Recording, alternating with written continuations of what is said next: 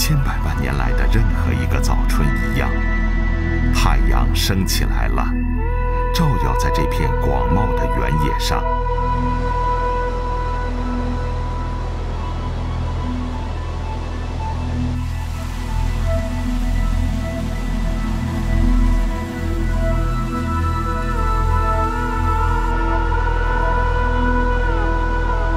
春风吹过山峦，拂向河谷，不得向平原奔跑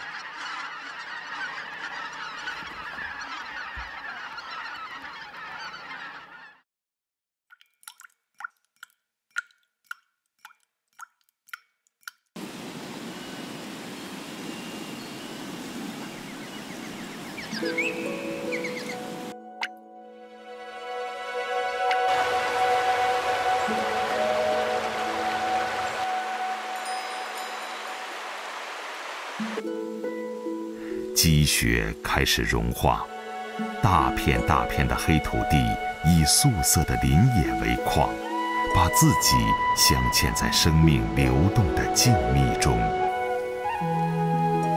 黑土地的眼睛在注视着人类，我们的眼睛也在这早春的阳光下，看到了与我们年年相依、长生长新的黑土地。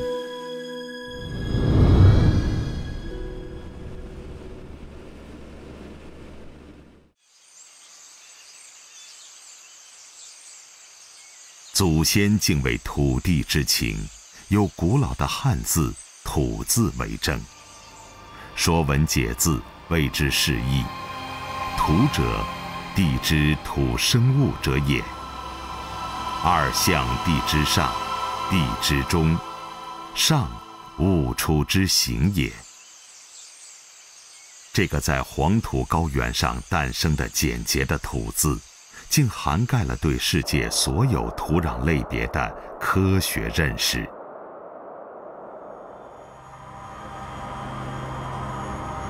大自然亿万年为地球造化了四大黑土带。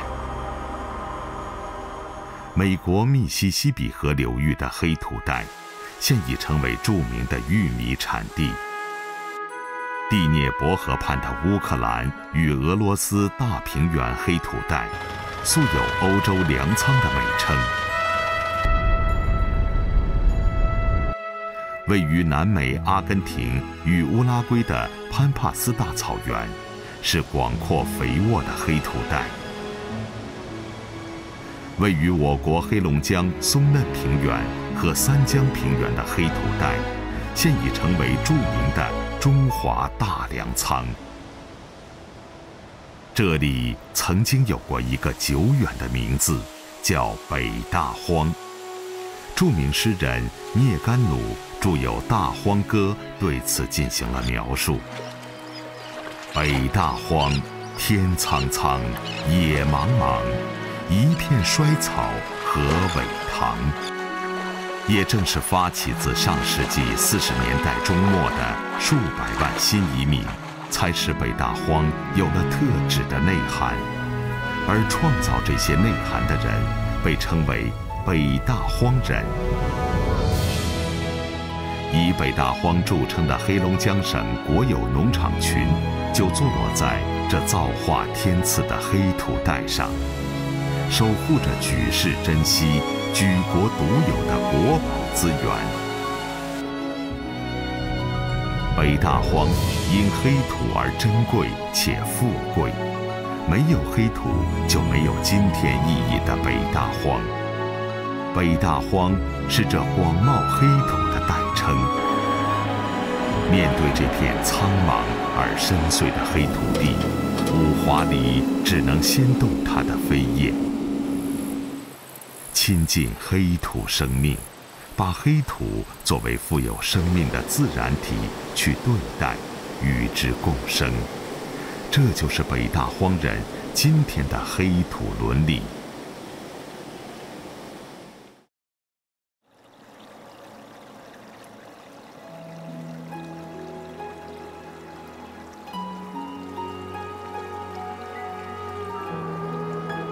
十九世纪后半叶，俄国地理学家道库恰耶夫在对自然地理进行综合研究中，发现了一个新的历史自然体——土壤。他把土壤看作是自然的一面镜子，在这面镜子中，这位科学家看到了整个自然界相互联系、相互制约的本质特征。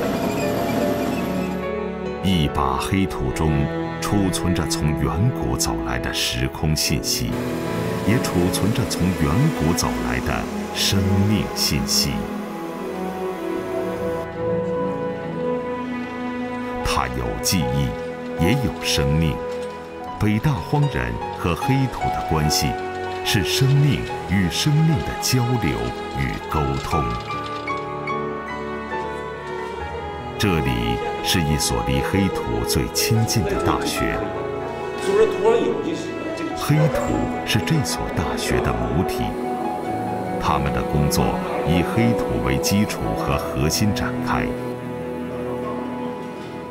了解与认识黑土的生命世界，是我们对另一种生命形式的敬畏与尊重。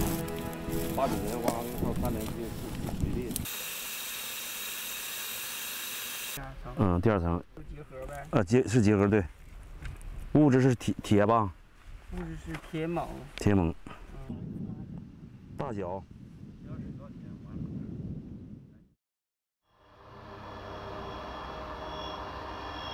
这是黑龙江流域冲刷亿万年进入大海的末端，无数条河湖江岔，裹带着丰饶的水流，滋润无边的绿叶。最终形成了黑土平原。今天，它的名字叫剑三江。这里的草炭黑土深达一百厘米，万米坡降不到五十厘米。这里的红河湿地保护区是中国政府推荐为国际湿地名录的典型区域。丰富的动植物，都是黑土地千万年的变化再现。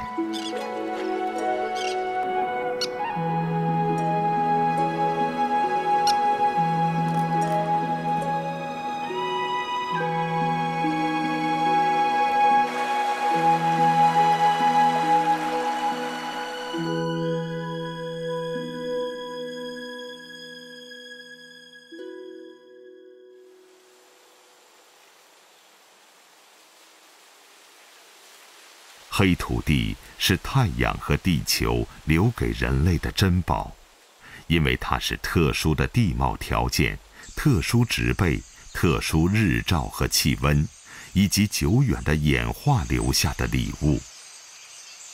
缺少哪一个条件，都不会有如此广袤的黑土平原存在。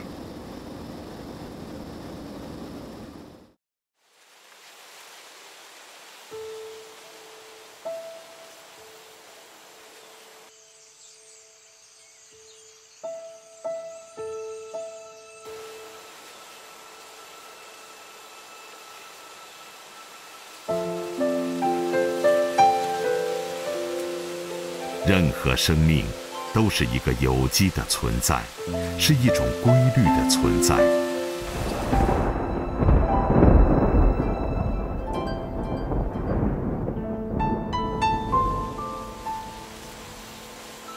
在我们看似平静而沉寂的黑土层中，生命在以能量循环、能量交换的形式发生和演替。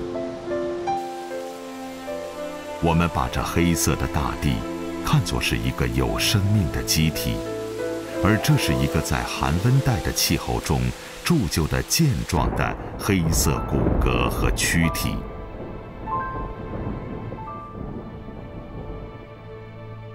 这个躯体伸展于大兴安岭南麓它向着太阳敞开了东北大平原的宽广胸膛。三江平原和松嫩平原是它躯体最丰盈之处。在这两大平原上，黑土连片，我们能看到这美丽躯体的原始风韵。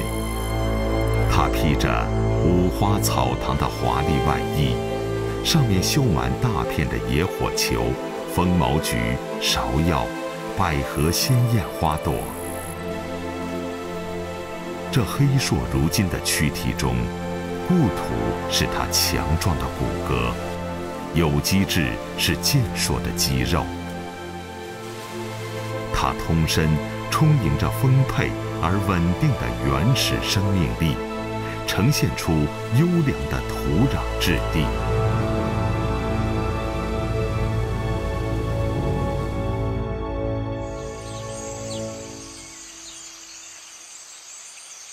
黑土是植被的母亲，植被永远来自母体，而经过千变万化的呈现，又回归它的母体。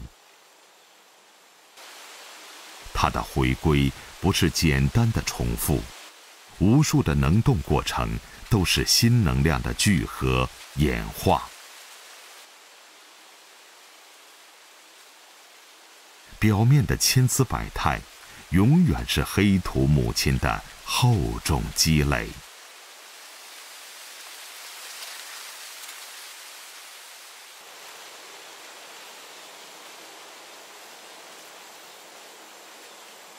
静默的黑土，看上去无声无息，可它无时无刻不在进行着最丰富、最神奇的能动。在厚厚的黑土层中，土壤生命以其自身的节奏和韵律在运动着。土壤水在勤奋地进行着矿物质的风化。有机化合物的合成与分解，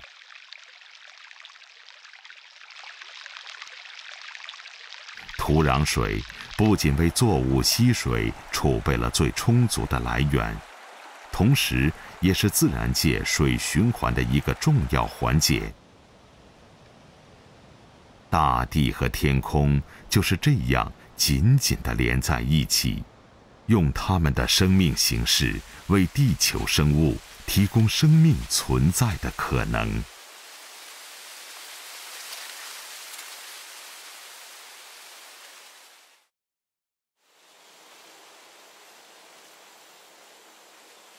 在通气良好的黑土层中，土壤空气组成接近于大气，黑土地得以畅快的呼吸。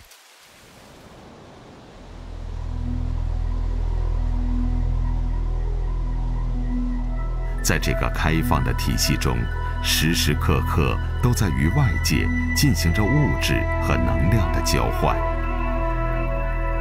肉眼虽看不到这些，但我们知道，运动是一切生命存在的形式。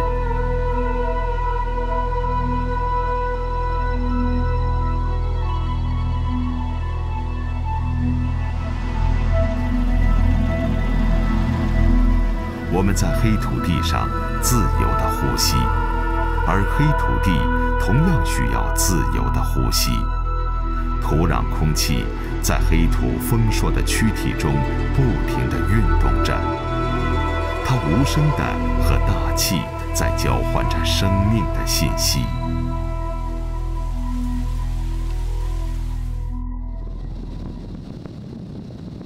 看起来宽阔丰厚的土地。它的承载能力也是有限的。大工业进步而形成的产出能力，远远超过了土地自身循环的补偿，使广大的耕地基础能力下降，含水含肥的有机生化能力下降。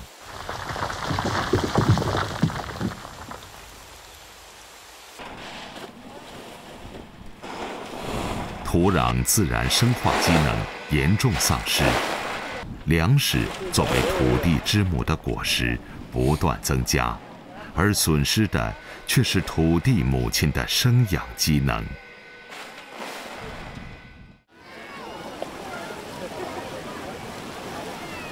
大海是人类的母体，土地是人类的生命。人类在向上帝索取粮食的同时，也应该给土地应有的反哺。最常见的办法就是把作物秸秆还给土地。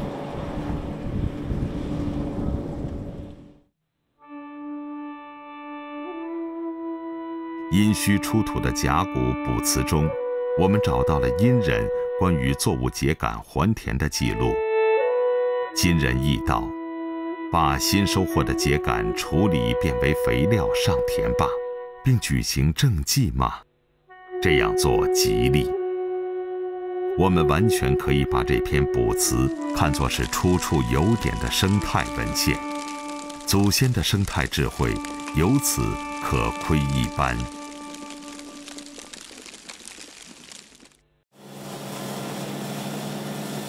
而北大荒秸秆还田。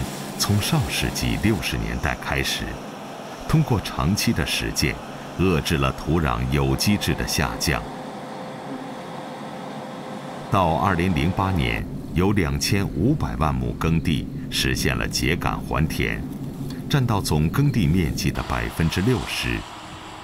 每年土壤有机质年增加百分之零点零二至百分之零点零四，少数地块。能达到百分之零点一，这是北大荒对黑土地的现实感知，是北大荒黑土伦理丰富了他们的生态智慧，涵养黑土成为北大荒人的自觉追求。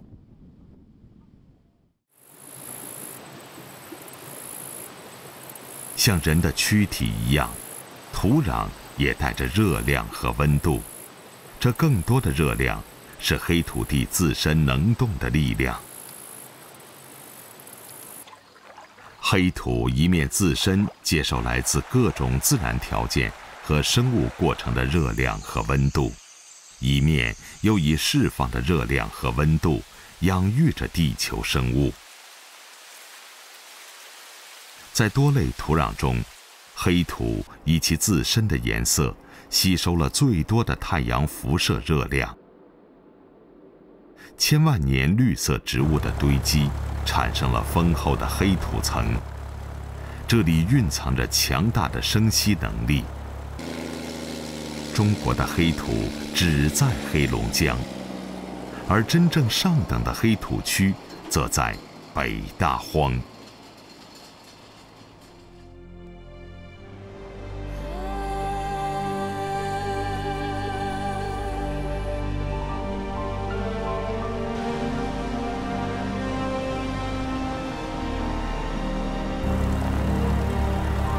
千百年来，我们都在为自身的伟大与勤劳不懈地歌唱。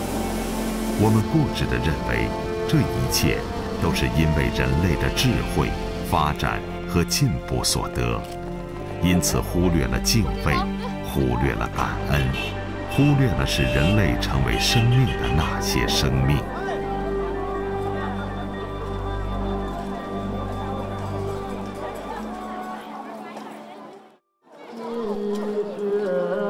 敬畏自然、崇拜自然到征服自然，我们不再以图腾般的信仰去感恩自然、叩谢自然了。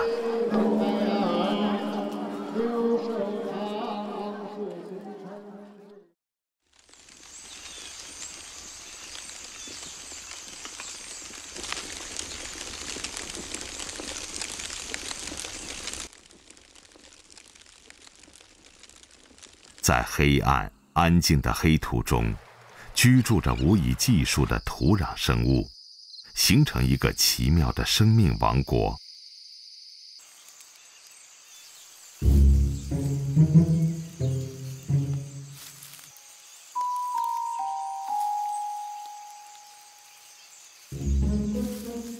一条蚯蚓在安静的前行着，它蠕动着无脊椎的软体，奋力在黑土中挖掘穴道。蚯蚓的个体生命虽然只有几个月，或长至几年时间，但它对土壤的贡献已超过自身的生命过程。通过取食、消化、排泄、分泌和绝学。深深地影响着土壤中的水气状况，对土壤肥力产生重要的作用。它们在地下建造了紧密的通道网络。在法国一个温带牧场中，发现每平方米竟有四千至两万九千八百个地下通道。在一平方米的土壤剖面中，这些通道总长度。为一百四十二至八百九十米。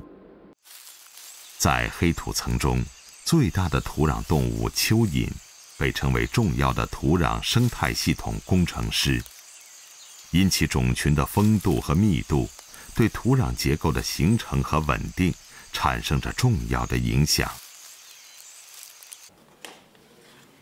还有更多的需要借助显微镜才能观察到的土壤微生物。和土壤动物，人们对它们的研究和认识还限于较初级的阶段。它们进行着土壤有机质的分解、养分循环，形成农业和林业的基础。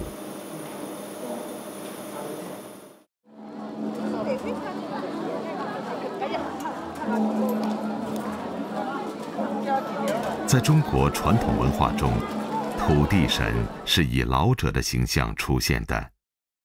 土地先于人类而存在，土地不依人类而存在，并不是人类赋予土地以生命，而是人类须臾离不开土地。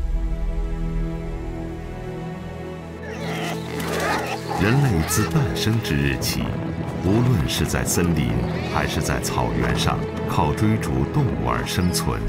还是在水边靠渔猎而生存，最本质上还是依赖土地而生存。人类和土地上的山川河流、鸟兽虫鱼是在一条生物链上，人类和土地中的那些看见、看不见的生物也同在一条生物链上。从黑土中那些无声的土壤生物，到已经能上天入地的人类，生命的信息彼此关联。两千多年前，先哲老子在函谷关道出的那个“道”，众妙之中，早已悟出个中的玄机。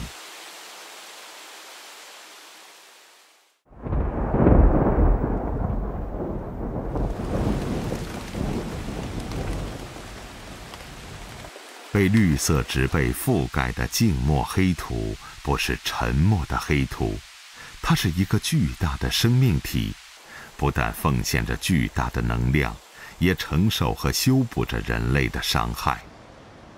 我们取之的一切，都由土地自己默默地进行补偿。我们不禁要感佩几千年来维系人类生存。与自然平衡的敬畏之心，感谢在今天大工业条件下，始终把自己置身于黑土地之中，以大地的知觉和情感视其为自己生命的北大荒人。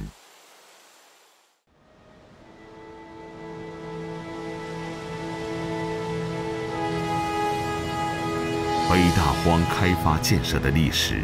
已走过了六十五个年头，这六十五年是北大荒人亲近黑土地的六十五年，是他们认识黑土地的六十五年，是人类历史和自然历史在黑土地上交织的六十五年。在有限与无垠的时空中，虽弹指一挥，沧海一粟。但这是人类与自然不可断裂的生命之链。两千五百年前，中国春秋齐国政治家管仲说：“地者，万物之本源，诸生之根育也。地者，政之本也。”他把土地看成是自然物质资源，并且将其列入最重要的政治因素。一百五十年前，伟大的思想家马克思曾指出，劳动和土地是形成财富的两个原始要素，是一切财富的源泉。当解放战争的硝烟还在弥漫。党中央作出建立巩固的东北根据地、开发建设国有农场时，黑土地不仅是宝贵的自然资源，而且是建立新政权的重要政治要素。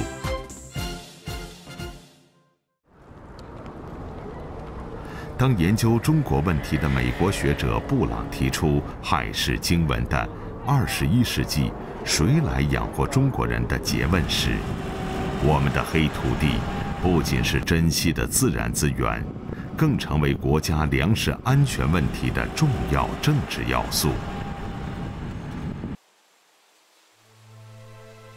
当北大荒人历经六十年与黑土地厮守而终生不弃，坚持永续保护与利用的原则时，黑土地以其生态要素。紧紧融合到北大荒的生态政治、生态经济、生态文化的发展史中。如今，一部北大荒开发建设的历史，岂止是开垦黑土地、生产粮食的历史？今天的北大荒人，既拥有形成财富的劳动和土地这两个原始要素，同时。最先进的生产力与生产关系，使广袤的黑土地焕发出新的勃勃生机与活力。静默黑土，我们从自然中收获智慧的启迪与发展的。